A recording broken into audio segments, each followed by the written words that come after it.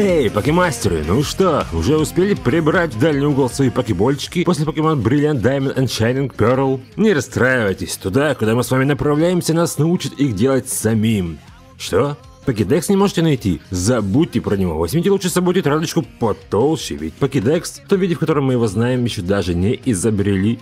Да, вы правильно догадались. Наконец-то состоялся релиз долгожданный Pokemon Legend Arceus. Наконец-то Game Freak, отцовствователи серии, отошли от канонов как можно дальше и постарались нам дать что-то если скажу совершенно новое, слукавлю, конечно, но как минимум заметно отличающееся от кучи игр предшественников. Итак, не будем тянуть Пикачу за хвост. Как повелось в игроканальских обзорах, начну с сюжета. Да-да, сюжет во всех играх про покемонов никогда не отличался чем-то... Никогда не отличался ничем, в общем-то. Хотя в случае с Арсеас все-таки есть парочка интересных моментов.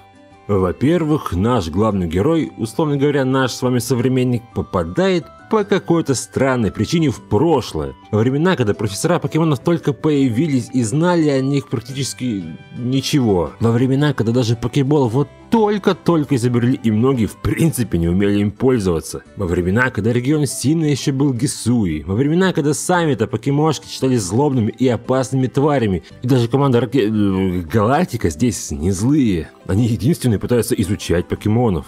Возможно, в будущем, через часов 30 игры, они дадут нам про э, знать о себе. Но, к сожалению, я до этого момента еще не дошел. Ну, простите, виноват. Но, к сожалению, сроки по обзору горят, а любая игра серии ну, никогда не проходилась быстро. Как вы туда попали, ну, в прошлое, неизвестно.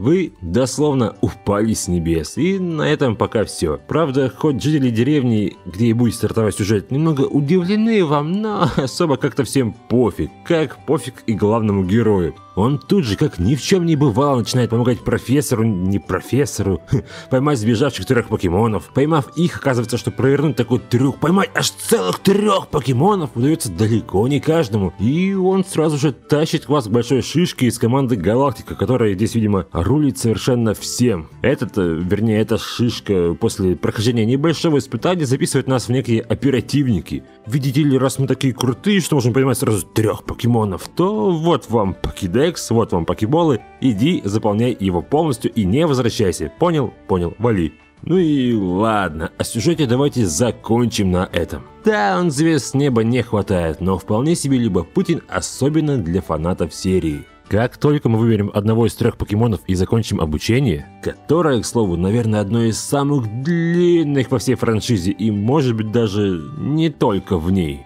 Нет, ну реально, часа полтора-два нас водят за ручку и заставляют участвовать в тоннах диалогах, и в какой-то момент это прям начинает немножечко раздражать. Но благо все это заканчивается, и нас выпускают в открытый мир. Ну, условно открытый. Несколько больших локаций с так называемым хабом.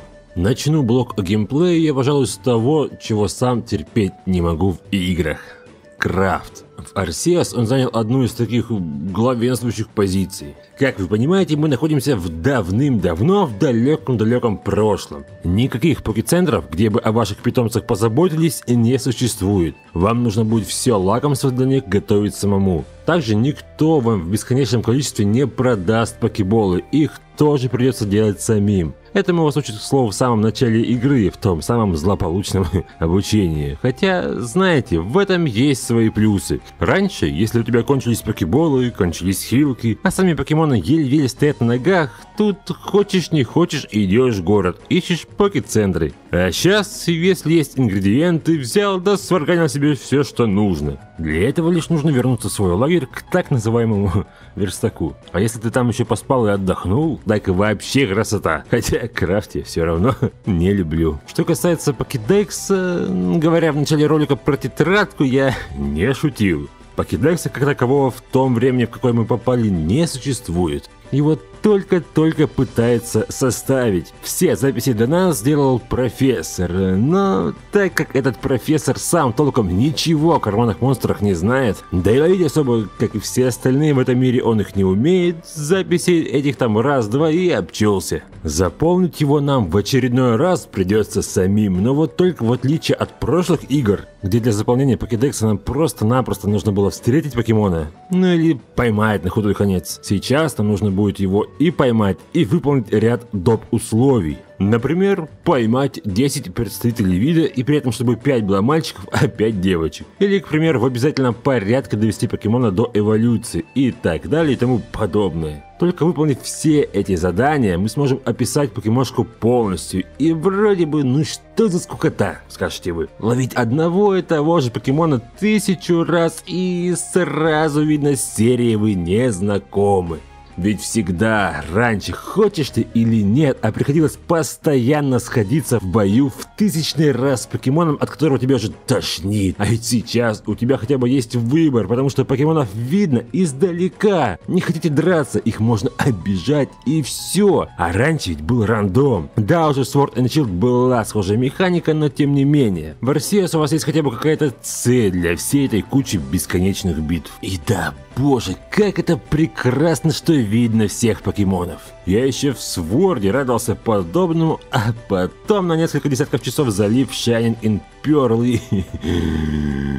Как же меня бесила эта механика рандомных бит с дикими покемонами, от которых порой можно было отмахнуться репеллентом, но он же стоил денежек и быстро кончался. А эти десятки тренеров на один квадратный метр, которые по какой-то причине во что бы то ни стало хотят с вами подраться. Ох, как же кайфово после всего этого просто бегать в Арсиас. Просто смотреть на этих покемошек, развящихся в травке, которые не будут выпрыгивать из нее рандомно. И мало того, совсем наоборот. Чаще всего именно вы в этой траве будете подкрадываться к покемошкам сзади. Вот, к примеру, нашли вы нужную цель. Подкрались, кинули в противоположную сторону ягодку. Пока покемошка пошел ее кушать, вы бац и кидаете ему в спину покебол. да, подло, зато без всяких битв можно взять и поймать зверушку. Хотя есть прям изначально агрессивные ребята, которых так просто не возьмешь. Впрочем, их видно издалека. Над ними горит такой специальный значок. Вот они могут и вам даже валить. Не зря в самом начале игры нас обучают уворотам. Еще одно невероятно здоровское изменение заключается в том, что когда дело доходит до боя, нет кучи однотипных загрузок. Ну, знаете, когда ты в тысячный раз дощелкиваешь наконец-то до драки, уже драться не хочется, а хочется просто взять и выключить консоль. Сейчас же все иначе. Увидел врага, кидаешь покебол, и если покемон не ловится, сразу начинается бой. Вы вызываете нужного вам монстрика и все, реально все. И мало того, в это время вы сами можете бегать вокруг места боя. Вы больше не привязаны к какой-то одной конкретной точке. Вас даже в гуще битвы может зацепить ударной волной. Да, бои все еще пошаговые. Сначала сходите вы, потом противник. Ну, от этого уже мы точно никуда не уйдем. Кто хочет другого чего-то, милости прошу в мобильный гейминг. Там и Gold, и Unite есть. Зато, если рядышком стоят несколько враждебных покемонов, нападут они все сразу. И победить их несколько, при том, что у вас на поле боя всего один, ну, довольно непросто, знаете ли. Иногда будут встречаться и боссы, такие некие огромные мощные покемоны, яркие представители своего вида. Но по факту бои хоть и будут чуть сложнее, чем с рядовыми противниками, останутся примерно такие же. Ну, разве что именно вы, ну, ваш персонаж, будет принимать в них непосредственное участие. Очень, прям очень радует отсутствие кучи непонятных тренеров, жаждущих с вами битвы. Как же они раздражали раньше, ведь от них даже если ему в лицо спрей выпшикать, ничего не поможет. Драться все равно придется, и хоть я про это уже говорил ранее, но тем не менее не могу не отметить это еще разочек. Впрочем, объясняется это все очень просто. Их, этих тренеров просто нет. Люди еще боятся покемонов и не ловят их, не тренируют. Только единицы этим занимаются. Собственно, по этой же причине и нет больших арен, и нет этих пресловутых значков. Покемонов, путешествующих с вами, как и раньше, за раз может быть только шестеро. Хотя профессор не профессор точно вам не ответит на этот вопрос. Он попросту не знает, ведь никто никогда до этого столько за раз не ловил. Но так или иначе, лишние покемоны у вас все-таки будут. А так как покецентров, как я уже говорил ранее, нет, лишних своих дружочков вы отправляете на ферму в стартовую деревню, где они живут и радуются жизни в ожидании, пока вы их призовете. Из приятных нюансов, касаемых прокачки, хочется отметить тот факт, что новые скиллы, которые изучают покемоны, не замещают старые. Вернее, нет, не так. Да, за раз покемоншка все еще может знать только 4 умения, но остальные не пропадают. Вы можете вернуть их и поменять в любой момент. И да, раз у нас все-таки условно открытый мир, локации стали довольно большими. Следовательно, появились и ездовые покемоны вместо опостылевшего всем велосипеда. Да, мы даже в Shining Pearl могли по воде перемещаться на покемоне, но это совершенно не то же самое. Еще одна приятность заключается в том, что раньше зачастую начинаешь драться ты тем покемоном, который стоит у тебя в первую по списку. И как же это раздражало порой. Надо было либо перед боем менять очередность, что довольно запарно, либо в самом начале боя менять покемона на другого, что лишало тебя автоматически права ударить первым. А сейчас, сейчас ты сам заранее выбираешь нужного тебе покемонстрика и швыряешь во врага. Ну и в завершении пару слов о кастомизации. Да, она все еще скудненькая. Вначале вы выбираете одного из нескольких болванчиков и для начала все. Чуть позже появятся у вас новые шмотки, новые варианты прически и прочее, но чего-то этакого не ждите.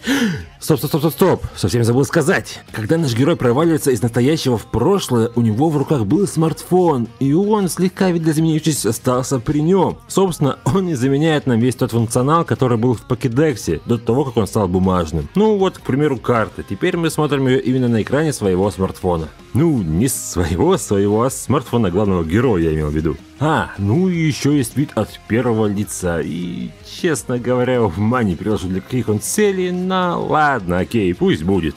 Вы, из-за того, что поиграть много мне не удалось, не совсем ясно, если здесь и как осуществляется онлайн-составляющая. Друзья, если вы успели наиграть много часов, расскажите об этом в комментах, интересно будет почитать. Из того, что раздражает, это вновь отсутствие русского языка. Да, сюжет в целом будет понятен и так, но количество текста выросло. По крайней мере, в начале довольно много диалогов, и все таки хочется уже увидеть наш, родной, великий и могучий. Но в очередной раз, увы и ах. Малость раздражает еще и то, что все персонажи это просто кивающие головы с изредка меняющимися лицевыми анимациями. Хотя, повторюсь, количество разговоров увеличивается и хочется, чтобы хотя бы центральные, квестовые касцены, если их можно так назвать, конечно, были озвучены. Пусть даже на одном японском, пофиг, это все равно бы прибавило живости игре. Но, к сожалению, и тут, увы и ах. Многие еще сильно ругают ее за графон, сравнивая с Breath of the Wild, но...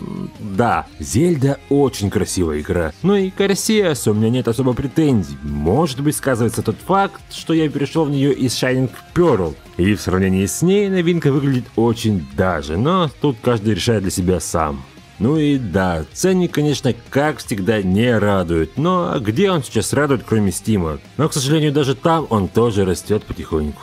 Поиграв в Pokemon Legend Arceus, теперь еще с большим энтузиазмом буду ждать следующую часть серии. Game Freak в этот раз сделала чуть больше, чем за все эти годы, и надеюсь в дальнейшем будет меньше бояться экспериментировать и улучшать всеми нами любимых покемошек. А у меня на сегодня все. Пишите в комменты, как вам новая часть серии. Пишите, с удовольствием с вами пообщаюсь. Большое спасибо за просмотр, не забывайте подписываться и ставить лайки, и как всегда, до новых встреч в новых кроликах. Всем пока!